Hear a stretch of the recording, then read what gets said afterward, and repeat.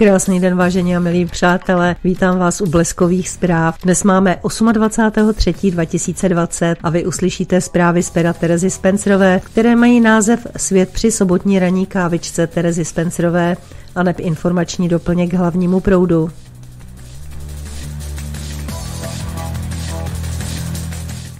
Průlet koronavirovým světem, který zavírá hranice, zastavuje pohyb a nutí vlády hledat hromady záchranných bilionů. V USA ve volebním roce tečou nervy. Překročena byla hranice 100 tisíc nakažených, což USA vyneslo na první místo na světě, přičemž takřka polovina připadá na New York. 90% guvernérů a starostů amerických měst si stěžuje, že nemají dostatek zdravotnického materiálu. Donald Trump drsně vyzývá koncern General Motors, aby obnovil provoz v hloupě zavřené továrně a Fordovi rovnou přikazuje to též. Vyrábějte plicní ventilátory. I při pokračujícím omezení imigrace přitom USA aktuálně lákají do země lékaře z celého světa. Ministerstvo zahraničí USA znovu obvinilo Čínu ze záměrného šíření koronaviru a na otázku o důkazech zástupce ministerstva konstatoval, že přece také čte americký mainstream. Trump se sice jako krizový manažer v nejlepším světle neukazuje a americká média na něm nenechávají nic suchou, ale podle průzkumu na oblibě mezi voliči nijak netratí. Nicméně v předvolebních průzkumech proti Joe Bidenovi, který nedělá vůbec nic a za viceprezidentku si nejspíš vybere ženu, začíná zaostávat.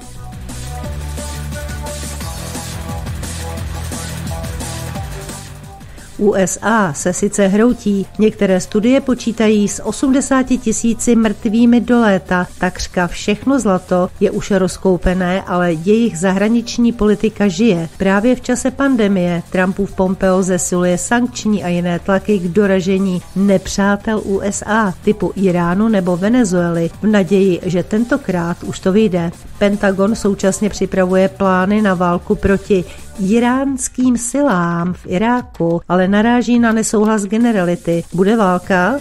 Mezitím USA ze své ambasády v Bagdádu, kam neustále dopadají rakety, stahují část personálu. Mimochodem Pompeo oficiálně přivítal Severní Makedonii v NATO a ujistil je o platnosti pátého článku alianční charty. Podle Mezinárodního měnového fondu je svět už recesi.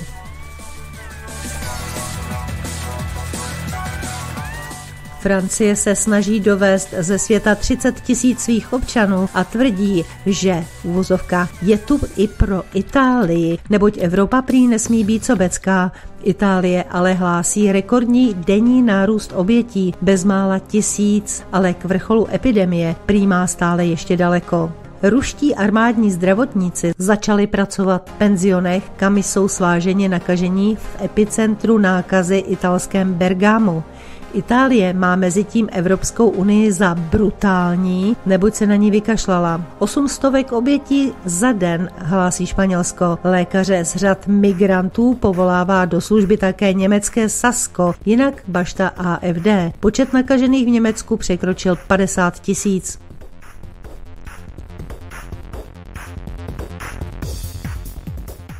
A něco jako by začínalo dávat smysl. Vedení Evropské unie hodlá využít obnovy rychle zdevastované evropské ekonomiky k prosazení zelených údělů a dalších plánovaných transformací.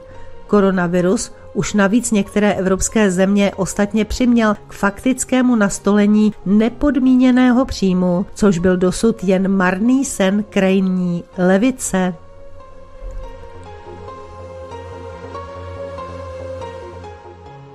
Současně s tím, jak se v uvozovkách národně promořovací Johnson přiznal, že je už také nakažený. Londýnská Imperial College zveřejnila studii, podle níž by koronavirus, pokud by mu byl ponechán volný průběh, mohl do konce letošního roku zabít až 40 milionů lidí. Britská vláda mezi tím také narychlo schání plicní ventilátory a počítá s tím, že využije hasiče k roznášení potravin a sbírání mrtvých těl. Mezitím v Británii rekordně narůstají počty chudých. Po britském vzoru bohorovné Švédsko až nyní omezuje veřejné akce na 50 lidí, ale restaurace a bary dál nechává otevřené.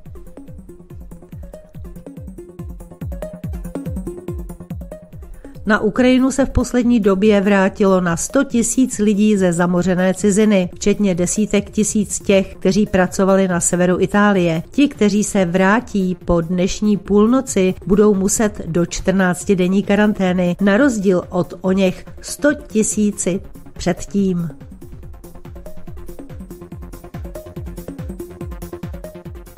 Turecko kvůli pandemii odsunulo na 6 tisíc migrantů od hranice s Řeckem zpátky do táboru v tureckém vnitrozemí a zřejmě do karantény. Svět se tak ponořil do produkce roušek a respirátorů, že pro změnu mohou začít chybět gumové rukavice, protože Malajzie, kde se jich vyrobí nejvíc, kvůli koronaviru zastavuje fabriky a omezuje produkci. A mimochodem Malajzie je i největší světový producent kondomů. V rámci příprav židovského státu na boj s koronavirem izraelské bezpečnostní složky zabavily palestincům na okupovaném západním břehu Jordánu stany určené pro provizorní koronavirovou nemocnici.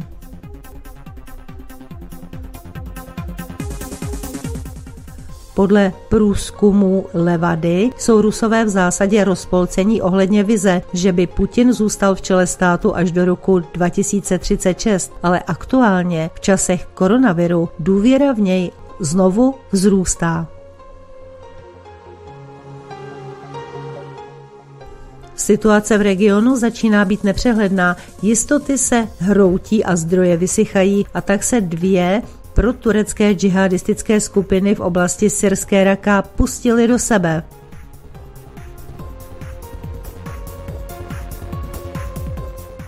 Saudská nevítězná, ale o to více zničující agrese proti Jemenu za naprostého nezájmu světa vstupuje do svého šestého roku. Rebelové z Ansaraláhu slibují Saudům asi nemilá v uvozovkách vojenská překvapení. Pro začátek ale a v očividné snaze upevnit regionální osu odporu navrhují, že propustí saudské zajatce výměnou za palestince vězněné v Saudské Arábii.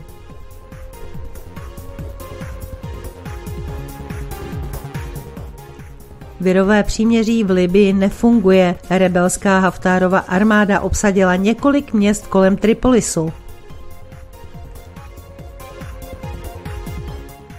Světové ceny ropy kvůli cenové válce i poklesu poptávky klesly na psychologickou hranici 25 dolarů za barel. Rusko tvrdí, že půl roku s tím přežije v pohodě a pak už to bude horší. USA mezi tím tlačí na Saudy, aby už s tím vším přestali a ceny mohly znovu povyskočit.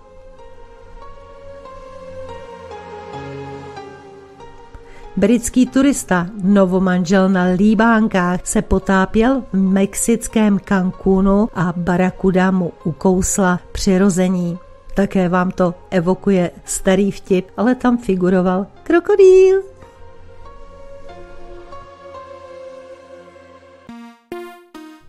Tož tak od Terezy Spencerové a zároveň i ze studia Kladno, odkud se s vámi loučí Sonja Zikmundová a Martin Dukát. Přejeme vám příjemný poslech dalších pořadů a brzy naslyšenou.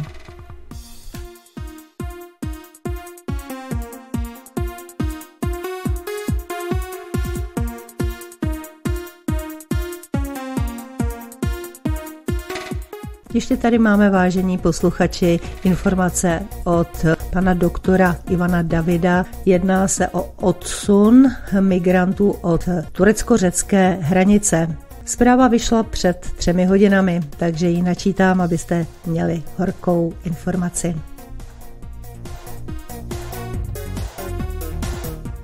Migranti na řeckých hranicích v uvozovkách hodili ručník do ringu, na rozloučenou způsobili lesní požár.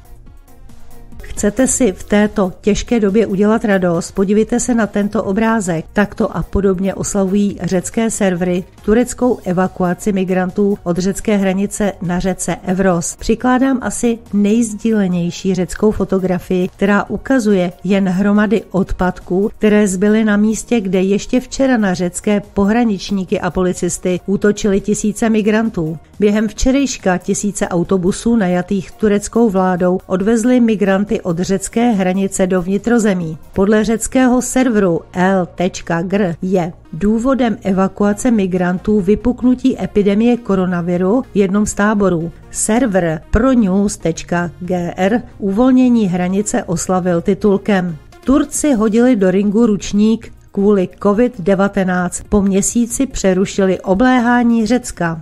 Z řecko-turecké hranice však přichází i méně radostné záběry. Migranti svoji poslední noc na hranici strávili opravdu stylově. Zápalné koktejly Molotov házely na řecké opevnění tak intenzivně, až se jim podařilo způsobit velký lesní požár. Řeckým hasičům se jej na vlastní straně hraničního plotu podařilo po celonočním boji s plameny dostat pod kontrolu. Žár byl v některých místech ale tak intenzivní, že armáda musela hasičům vyslat na pomoc speciální tank Leopard 2 upravený na hasící vozidlo. Na turecké straně se kvůli tisícům migrantů nepodařilo skoordinovat hasičský zásah. Velká část lesa lehla popelem a v ní i většina táborů, v nichž doposud přebývali migranti. Ráno v Turecku někdo hodně vysoko postavený rozhodl o evakuaci migrantů. Na místo byly vyslány tisíce autobusů, které celý den nakládali a odváželi migranty.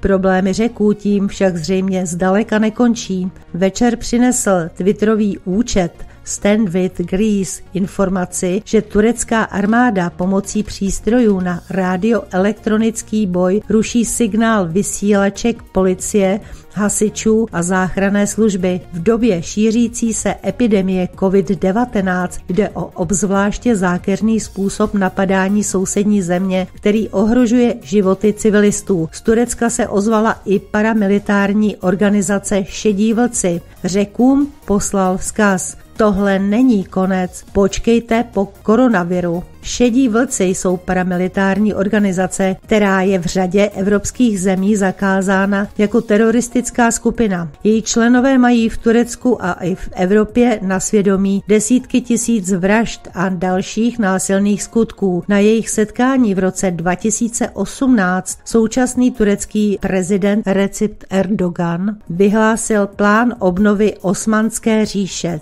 cituji, Turecka od Vídně po Čínu a od Kavkazu po Saharu, jak řekl Erdogan. Řekové proto dále pokračují v opevňování hranice. Včera do prostoru hraničního přechodu Kastanies instalovali velkou kovanou dvojitou mříž, kterou by bylo velmi obtížné přeřezat i pomocí výkonných kotoučových brusek. Dokáže dokonale uzavřít prostor přechodu. Na třetím obrázku jej přiváží vojenský nákladní tahač. Tolik informace od Ivana Davida a současně i rozloučení ze studia Kladno.